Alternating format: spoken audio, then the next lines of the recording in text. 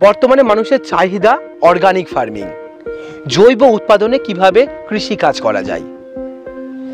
এখানে কিন্তু ইন্টিগ্রেটেড ফার্মের একটা বিরাট রোল রয়েছে এই অর্গানিক ফার্মিং এর ক্ষেত্রে। এবার প্রশ্ন হলো, আপনি অর্গানিক ফার্মিং সম্পর্কে কোথা থেকে সঠিক ধারণা পাবেন? হাই হ্যালো নমস্কার, সবাই কেমন আছেন? আমাদের এগ্রিকালচার ডায়েরি স্বাগত এবং সঙ্গে আমি সুশোভন। চলুন, আজ আপনাদেরকে নিয়ে যাই বিধানচন্দ্র কৃষি বিজ্ঞান কেন্দ্র, যেটা আমাদের পশ্চিমবঙ্গের কৃষি ইউনিভার্সিটি। এখানকারই একজন কৃষি বিশেষজ্ঞর সঙ্গে আমরা আলোচনা করেছি যে অর্গানিক ফার্মিং এর অর্গানিক উপাদানগুলো কীভাবে তৈরি করতে হবে, যেটার মাধ্যমে আমরা সঠিকভাবে ফার্ম তৈরি করতে পারব। চলুন, সরাসরি কৃষি বিশেষজ্ঞের সঙ্গে আমরা কথা বলে নিই।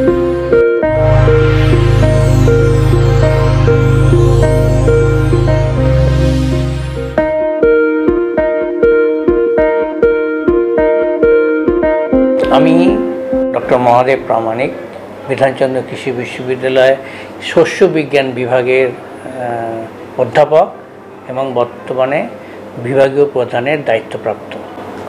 আমার রিসার্চ বা গবেষণার বিষয় জৈব চাষ এবং সুসংগত কৃষি, যেটা আমরা বলি ইন্টিগ্রেটেড ফার্মিং সিস্টেম এখন জৈব চাষ এবং ইন্টিগ্রেটেড ফার্মিং সিস্টেম একে অপরের পরিপূরক। জৈব চাষ কখনোই ইন্ডিকেটেড ফার্মিং ছাড়া সম্ভব নয়। জৈব চাষ চাষি ভাইদের স্বয়ং সম্পূর্ণ করতে শেখায় যে প্রাকৃতিক কৃষি ন্যাচারাল ফার্মিং সেই ন্যাচারাল ফার্মিং মূল উপাদান কিন্তু গরু বা গরু থেকে তৈরি গরু থেকে উৎপাদিত বিভিন্ন বাই প্রোডাক্ট সেই চোনা বলুন, গোবর বলুন, এগুলো সব কাজে লাগিয়ে। তাহলে গরু যদি আপনার হোমস্টেটে থাকে, বাড়িতে থাকে, তাহলে সেই গরুকে কাজে লাগিয়ে আপনি গোবরটা পেলেন এবং গোবর থেকে বিভিন্ন ধরনের আপনার কম্পোস্ট সার হবে, কেঁচো সার হবে লিকুইড ম্যানিওর বা তরল সার হবে, এগুলো আপনি বাড়িতে তৈরি করতে হবে আপনাকে, এই উপাদানগুলো। যে উপাদানগুলো আপনার বাজার থেকে কৃষি উপাদান কিনতে আপনার আপনাকে কিনতে হবে না আর, এবং আপনাকে স্বাবলম্বী করবে ফসলের খাবার যোগান দিতে, ফসলের কীট শত্রু বা রোগ পোকা দমন করতে। কারণ এই গোবর, এই চোনা দিয়ে আমার কিন্তু ওই ফসলের রোগ পোকা দমনের উপযোগী বিভিন্ন ধরনের পাতা থেকে আমরা উদ্ভিদ রোগ দমনকারী ওষুধ তৈরি করতে পারব। বাড়িতে যে হোমস্টে সেখানে আমরা নিম গাছ লাগাতে পারি। আপনার নিমের কি হয় না দেখুন। নিমের পাতা আমরা আমরা যেমন খাই, সেই পাতা আমরা রোগ পোকা দমনে ব্যবহার করতে পারি, যেটা আমরা বলি নিমাস্ত্র। সেটা তাতে পাঁচ কেজি নিম পাতা, তার সঙ্গে আপনার ওই গোবর। সেটা ধরুন পাঁচ কেজি গোবর আর তিন কেজি মতো চোনা বা যেটা প্রস্তাব বলি। হ্যাঁ এই তিনটে মিশিয়ে এক রাত রাখতে হবে। এক রাত রাখার পরে পরের দিন সকালবেলা একশো লিটার জলে ওটা পাতলা করতে হবে। পাতলা করে ছেঁকে আপনাকে স্প্রে করলে এটা কিন্তু রাখা যাবে না, সঙ্গে সঙ্গে স্প্রে করতে হবে সকালবেলায়। এবং স্প্রে করলে এবার আপনার যে বিভিন্ন ধরনের কুড়ে খায় যেগুলো মানে চেঁচে খায়, যেটা আমরা বলি কন্ট্যাক্ট ইনসেকটিসাইড পর্শজনিত যে সমস্ত ইনসেকটিসাইড পর্শের কারণে রোগ পোকা দমন হয়, সেই ধরনের রোগ পোকাগুলো এই নিমাস্ত্র প্রয়োগে আপনি সুফল পাবেন। এটা এক, ওই যে একশো লিটার জল এক একর জমিতে মানে তিন বিঘে জমিতে প্রয়োগ করতে হবে। তাহলে এটা সহজেই করতে পারি। হ্যাঁ এরকম ধরুন আমরা বাড়িতে অনেকেই আপনার ইয়ে লাগাই তুলসী লাগাই তুলসী একটা খুবই উপযোগী রোগ নাশক আপনার এক লিটার জলে পঞ্চাশ গ্রাম মতো তুলসী ভালো করে বেটে আপনি ইয়ে করলেন মানে রসটা বার করে নিলেন যে সেটাতে আপনার পাতলা করে নিলেন, দশ লিটার জলে মিশিয়ে। আপনি স্প্রে করুন। এই বিভিন্ন ধরনের যে সমস্ত পচা রোগ পচা জাতীয় যে রোগ সেইগুলো আপনার দমন করতে পারবে আবার ধরুন আবার ধরুন রাখতে পারবেন এরাম এগুলো তো রাখতে পারবেন না। সঙ্গে সঙ্গে আপনার ব্যবহার করতে পারবেন। রাখতে পারবেন এরামও বিভিন্ন গাছ থেকে আপনার ওষুধ তৈরি করা যায়। যেমন কলমি, চোনা দিয়ে সেটা হচ্ছে আপনার এক কেজি হচ্ছে ওই ঢোলকলমির পাতা বেড়াকলমির পাতা। তার সঙ্গে আপনার পাঁচ কেজি নিম পাতা। এত করে মিশিয়ে নিলেন। আর হচ্ছে পাঁচশো গ্রাম হচ্ছে রসুন। আর পাঁচশো গ্রাম লঙ্কা, কাঁচা লঙ্কা। ভালো করে মিশিয়ে বেটে তার মধ্যে এবার দশ লিটার চোনা বা প্রস্রাবের দিয়ে ওটা ফোটাতে হবে। বারে বারে মানে পাঁচ থেকে ছ বারে ফোটাতে হবে এবং বেশি জালে নয়, কম আছে বা কম জালে আস্তে আস্তে ফোটাতে হবে। ফোটানোর পর যেটা, যখন অর্ধেকটা হবে চোনাটা, তখন আর ফোটানোর দরকার হবে না। ঠান্ডা করে এক রাত রেখে ছেঁকে নিয়ে এটা আপনি এই কাঁচের বয়াম বলুন এরম জাতীয় পাত্রে আপনি রাখতে পারবেন ছ মাস। তার মানে আপনি ফসল চাষের সঙ্গে সঙ্গে যদি আপনি এটা বানিয়ে রাখেন এটা আপনি প্রিকশনারি মেজার এটা দিতে হবে আপনার দুই থেকে তিন এম এল পার লিটার এত কম দিলে এত কম দিলেই হবে। সেটা কি কাজে লাগবে? এটা লাগবে এটা যেগুলো শুষে খায়। এগুলো চুষে খায়। মানে শাকিং যে সমস্ত ইনসেক্টগুলো আছে সেইগুলোতে দমন করতে গেলে এটা কাজে লাগে। হ্যাঁ মাকড় হবে যে কোনো শাকিং যে যেগুলো আমি বললাম এগুলো আপনার বাড়িতে আছে। আপনি যদি এগুলো আপনার যেগুলো মানে মাঠে যদি এগুলো লাগিয়ে যান ইন্টারক্রপিং হিসেবে অন্তর্চাষ মূল ফসল চাষ করেছেন তাহলে জমির চারপাশে লাগাতে পারেন অথবা দুটো ফসলের মাঝখানে লাগাতে পারেন। যার ফলে এগুলো আপনার মানে উৎপাদন কম হবে কিন্তু আপনার যে প্রয়োজন সেটা মিটবে। আপনি সেলফ সাফিসিয়েন্ট বাজার থেকে কেনার দরকার নেই। এরকম ধরুন আমরা পাতা পেয়ারা তারপরে বললাম পেঁপে আর একটা বলছি ডালিম। এই পাতাগুলো থেকে আমরা একটা রোগ এবং পোকা দমনের ওষুধ বানাতে পারি। এটাতে আপনার লাগবে তিন কেজি নিম পাতা। থেতো করে নিলেন। তার সঙ্গে আপনার এই যে পেঁপে পাতা বললাম তারপরে ডালিমে পাতা বললাম, আতা পাতা বললাম, পেয়ারা, চারটে দু কেজি করে। ঠিক আছে? হ্যাঁ। এটা ভালো করে ভালো করে বেটে নিয়ে সেটাতে এবার ওই দশ লিটার চোনা নিলেন বা প্রস্রাব নিলেন, গরুর প্রস্রাব। এটা খুব ভালো হয় যে গরু দুধ দেয়, সেই সেই গরুর প্রস্রাব। নিয়ে সেটা এবার ফোটাতে হবে। এটাও আগেরটার মতোই রাখতে পারবেন। ফোটাতে হবে, ফোটানোর পর হাফ যখন হবে সেটা এক রাত রাখবেন রাখার পর ঠান্ডা হবে ছেঁকে নেবেন আবার কাচের বয়ামে রেখে দিলেন। এটা একই ডোজ দুই থেকে তিন এম পার লিটার আর এটার জন্য আপনার ওই যে সমস্ত কি বলি পচা জাতীয় বা যে সমস্ত রোগগুলো আছে সেই রোগগুলো হ্যাঁ, ধসা পচা এই ধরনের রোগগুলো দমন করা যাবে। নিম গাছের থেকে সব রকম হয়। যেমন ধরুন নিমের ফল। আপনি যখন এই নিমের ফল পাকে তো পড়ে যায়। এখন হচ্ছে, পড়ে যায়। কিন্তু ওটা মাটিতে পড়ার আগে আপনি যদি ওই জায়গাটায় বিচুলি, পোয়াল বা খড় বা ধরুন পলিথিন বিছিয়ে রাখেন, তাহলে তার ওপর পড়বে, মাটির সংস্পর্শে আসবে না। তাহলে এবার ওই নিম ফলটা কুড়িয়ে নিলেন। কুড়িয়ে নিয়ে এবার ভালো করে জলে ভালো করে কচলে নিলেন। তাহলে দেখবেন একটা নাট, শক্ত একটা নাট জাতীয় জিনিস দেখতে পাবেন। ওইটা আপনি ভালো করে মানে ধুয়ে, জলে ধুয়ে নিলে দেখবেন খুব আটা আটা হয়। হ্যাঁ ভালো করে ধুয়ে নিয়ে ওটা আপনি শুকিয়ে রেখে দিলেন। এবার যখন আপনার দরকার হবে, ধরুন পেস্ট লেগেছে, তখন আপনি ওরম পঞ্চাশ গ্রাম নিয়মের ফল নিয়ে এলেন, থেতে করে নিলেন আমার দৃষ্টিতে থেতে করে নিয়ে এবার ওইটা জলে ভিজিয়ে নিলেন এক রাত, ঠিক আছে?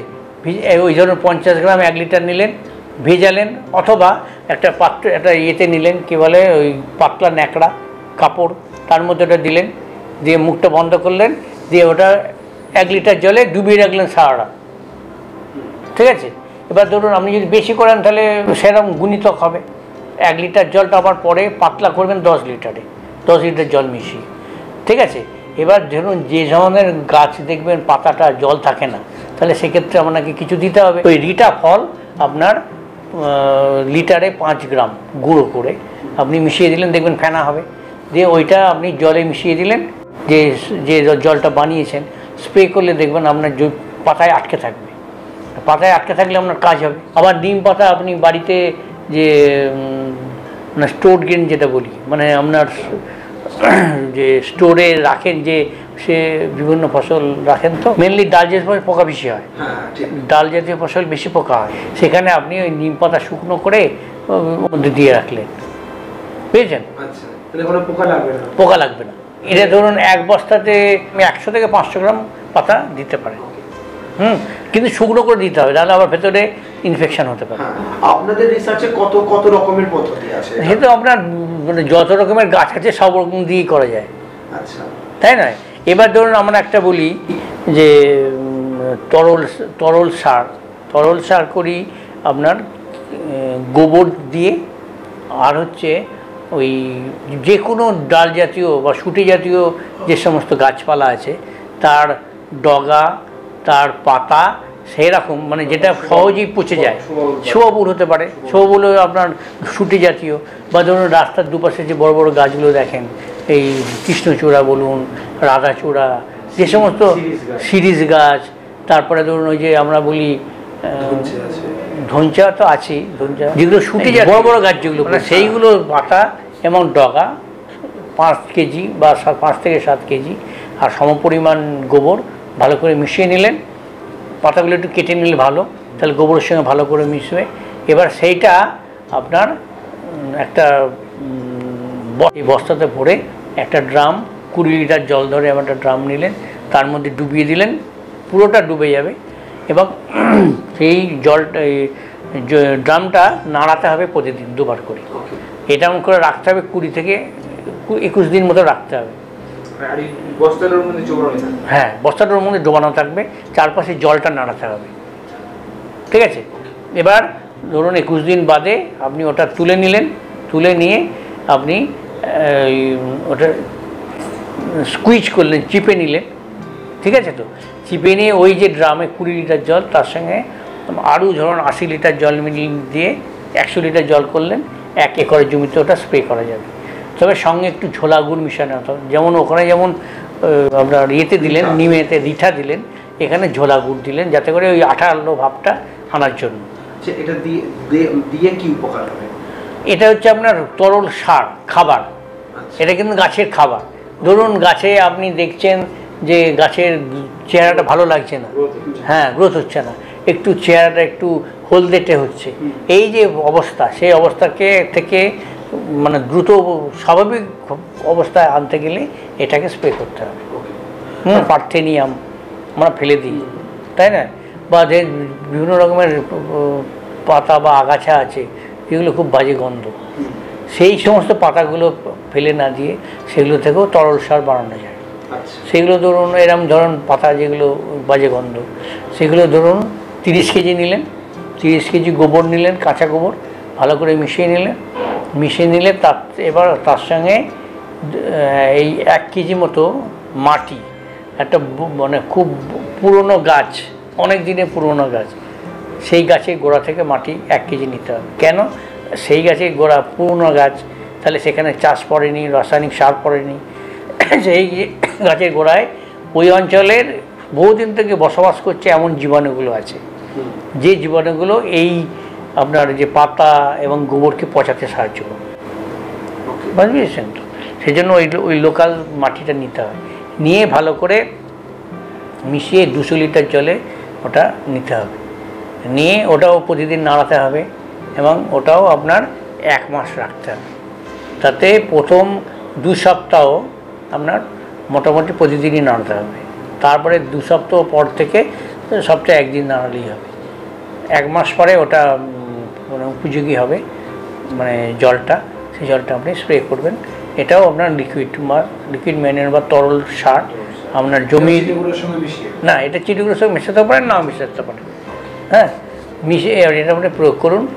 প্রয়োগ করলে আপনার জমিতে এইগুলো সঙ্গে সঙ্গে এই সমস্ত যে খাবার, উঁচু যে পাতা বা গোবরের যে খাবারটা ছিল, সেটা এখানে অ্যাভেলেবল ফর্ম মানে গাছ এটা সঙ্গে সঙ্গে নিতে পারবে। এগুলো ফার্মাররা সবসময় প্রয়োগ করতে পারে না, কারণ তার কাছে পুরো ধারণা নেই বলে। তাহলে এই ধারণা পাওয়ার জন্য তার একটা প্রশিক্ষণের প্রয়োজন বা এই সিস্টেমগুলো শেখার প্রয়োজন।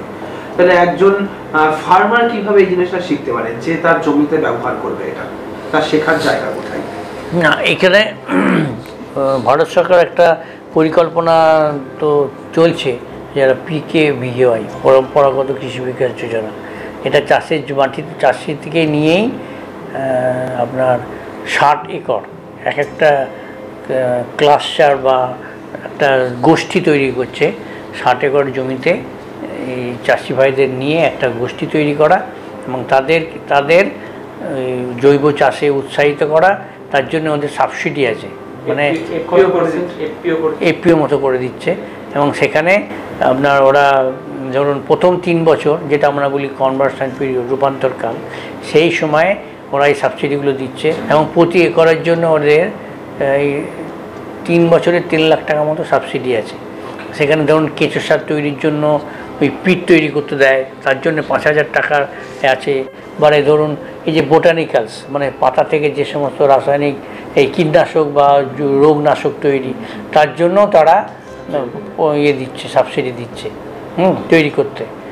যাতে করে চাষি ভাইরা ওই তৈরি করে নিজেরাই তৈরি করে নিজেরাই ব্যবহার করতে পারে। কোথায় গিয়ে শিখতে পারবে তারা এই পদ্ধতিটা? এখন ওরা পরম্পরাগত কৃষি বিকাশ যোজনাতে এরা পশ্চিমবঙ্গ সরকার বিভিন্ন ক্লাস্টার তৈরি করেছিল এবং সেখানে ওই চাষ প্রশিক্ষণ পশ্চিমবঙ্গ সরকারই দিচ্ছিল এবং বিশেষ করে যারা ওই এডিএ যেটা মানে হ্যাঁ অ্যাসিস্ট্যান্ট ডাইরেক্টর অফ এগ্রিকালচার বিভিন্ন ব্লকে আছেন, কর্মরত যারা, তারা প্রশিক্ষণ দিচ্ছিলেন। ভারত সরকারের স্কিল ডেভেলপমেন্ট বোর্ড তারাও প্রশিক্ষণ দেয়, তারাও বিভিন্ন কেবিকেগুলোতে জৈব উৎপাদনের উপরে প্রশিক্ষণ দেয়। দুশো ঘণ্টা ট্রেনিং দেয় দুশো ঘণ্টা। এবং তারাই নাম কি থাকে? জৈব উৎপাদন। জৈব উৎপাদন। সেই ট্রেনিংটা ওরা দেয়। আসলে তাহলে আপনি যেগুলো বললেন পাতা থেকে তৈরি করা সার বা পেস্টিসাইড হার্বিসাইড এগুলো বানানো তাহলে এটা কোন জায়গায় গিয়ে শিখবে? আর বিসিকেভিতে এসে কি তারা আপনাদের কাছ থেকে জেনে নিতে পারবে? কোথায় গিয়ে তারা হ্যাঁ বিসিকেবিতে আপনার ইন্দিরা গান্ধী মুক্ত বিশ্ববিদ্যালয়, ন্যাশনাল ওপেন ইউনিভার্সিটি, তারা বিশ্ব বিধানচন্দ্র কৃষি বিশ্ববিদ্যালয়ের সঙ্গে কোলাবোরেশন করে ছ মাসের মানে বছরে দুবার একটা সার্টিফিকেট কোর্স ছ মাসের পরিচালনা করে থাকেন। এবং সেই কোর্সটাতে মোটামুটি এই আপনি যেগুলো চাইছেন, জৈব চাষ কীভাবে করবে, উপাদান কীভাবে করবে, এবং সার্টিফিকেশান সে সার্টিফিকেশান কীভাবে করবে সার্টিফিকেশান খুবই দরকারি বিষয় যে চাষি যে তৈরি করছে আর যারা ক্রেতা, যারা কিনছে এই দুজনের মধ্যে বিশ্বাসযোগ্যতার একটা ফ্যাক্টর ব্যাপার আছে যে তারা কি করে ভাব জানবে যে যে চাষি তৈরি করছে, শুধু সত্যি সত্যি জৈব উপায় তৈরি করছে? সেইটা জানাই কারা? তৃতীয় পক্ষ একজন আছে, যেটা বলি আমরা সার্টিফিকেশান এজেন্সি এবং এই পদ্ধতিটা হচ্ছে সার্টিফিকেশান পদ্ধতি। এটা, এইটা সার্টিফিকেশান পদ্ধতির মাধ্যমে সার্টিফিকেট পাওয়া যায় এবং সেই সার্টিফিকেটটা এক বছর কার্যকরী থাকে এবং এটা প্রয়োগ এই সার্টিফিকেটের মাধ্যমে আপনার চাষি ভাইরা এক্সপোর্ট করতে পারবে, বাজারের বাইরে রপ্তানি করতে পারবে দেশের বাইরে। আর দেশের যে সমস্ত ডোমেস্টিক মার্কেট দেশীয় যে বাজার, সেখানেও তারা বিক্রি করতে পারবে সার্টিফিকেট এবং এর জন্য এই যে, উৎপাদিত পণ্য, জৈব পণ্য তার গায়ে লোগো তারা ব্যবহার করতে পারবে। এটা আমরা বলি ইন্ডিয়া অর্গানিক লোগো হুম? এবং এই লোগোটা ভারত সরকারের মিনিস্ট্রি অফ কমার্স বাণিজ্য বিভাগ, বাণিজ্য মন্ত্রণালয় তাদের আন্ডারে অধীনে যে অ্যাপেডা বলে একটা সংস্থা আছে, যারা মেনলি মূলত এক্সপোর্টটা দেখে এবং তারা আমাদের দেশে জৈব উৎপাদন ব্যবস্থাটাও দেখে। হুম? আর ওই থার্ড পার্টি যেটা বললাম, তৃতীয় পক্ষ, এবং তার, তাদেরও পরিচালনা পরিচালনা অ্যাপেডাই করে থাকে। হুম? এবং তারাও তারাও ওই যেটা আমরা বলি অ্যাক্রেডিটেশন ওই ওই অ্যাপেডার মাধ্যমে তারা অ্যাক্রেডিটেশন পেয়ে থাকে, এবং অ্যাক্রেডিটেশন যারা পায়, তারাই একমাত্র ওই বিভিন্ন জৈব খামারকে, ওই সার্টিফিকেশন দেওয়ার ক্ষমতা রাখে। তাহলে একজন ফার্মার বা একজন সংস্থা যদি একটা সংস্থা যদি এরকম ট্রেনিং বা প্রশিক্ষণ নিতে চায় তাহলে তারা কোন জায়গায় নাম নথিভুক্ত করবে এবং কীভাবে তারা ট্রেনিংটা পাবে তারা যদি এই কোর্সটা করতে চায় তাহলে আপনার ইগনু যে ওয়েবসাইট আছে W W W IGNOU dot AC dot in সেইটা আপনার ওপেন করলেই তারা জানতে পারবে যে কোর্সটা কত দিনের কোর্সটার ফি কত কোর্সটা কী কী শেখা যাবে ডিটেল তারা জানতে পারবে. আর আপনি এখন যে বয়স্ক শিক্ষার যেটা বলছিলেন তো সেখান থেকে কি পাওয়া স্কিল ডেভেলপমেন্ট কাউন্সিল এটা আমাদের যে কেভিকিগুলো আছে না আপনাদের সঙ্গে যে টাই আপ যার যার কথা বলছেন ছ মাসের ছ মাস করে যে এটা তো ইন্দিরা গান্ধী ওপেন ইউনিভার্সিটি। ওদের সঙ্গে। আর একটা বলছি যেটা স্কিল কাউন্সিল অফ ইন্ডিয়া যেটা করছে দুশো ঘণ্টা জৈব উৎপাদন এবং কেঁচাসার তৈরি এবং তারাও আপনার বিভিন্ন কেপিগুলোতে এই প্রোগ্রামটা চালায়। এখনও হচ্ছে। এবং সেই প্রোগ্রামটা জীবন চাষি তার অঞ্চলের নিকটবর্তী যে কেবিকে আছে সেই কেবিকে সে যোগাযোগ করে এই যে প্রকল্প skill development council of India নাম নথিভুক্ত করলে তারা প্রশিক্ষণের সুযোগ পাবে। আচ্ছা তাহলে ফার্মার এই ডিপার্টমেন্টে গিয়ে এই কোর্সটার কি নামে তারা জিজ্ঞাসা করবে এবং তার তার ডেটাটা কীভাবে নেবে?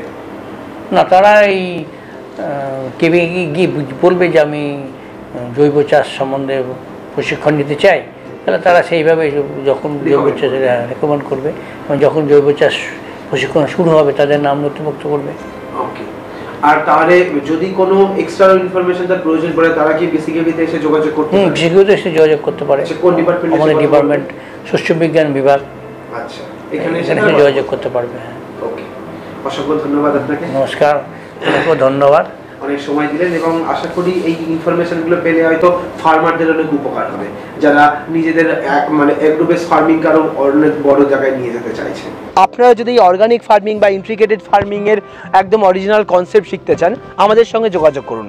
আমরা আপনাদেরকে কৃষি বিজ্ঞান কেন্দ্রের সঙ্গে পরিচয় করিয়ে দেব এবং আমরা বিধানচন্দ্র কৃষি বিজ্ঞান কেন্দ্রে আপনাদের সঙ্গে কানেকশন করিয়ে দেব, যাতে আপনারা সঠিকভাবে এই জিনিসগুলো শিখতে পারেন। এবং এই ভিডিওতে সব থেকে ভালো লাগল কোন কোন বিষয়গুলো, সেটা আমাদের লিখে জানান। পরবর্তীতে আমরা এর উপরে আরও বেশি ভিডিও বানানোর চেষ্টা করব, যাতে সঠিক ধারণা আপনাদের সামনে আমরা তুলে ধরতে পারি। আজকের ভিডিওটা এখানেই শেষ করছি। পরবর্তী ভিডিওতে আবার নতুন কোনো টপিক নিয়ে ফিরে আসব। ততক্ষণ ভালো থাকবেন, সুস্থ থাকবেন। বাই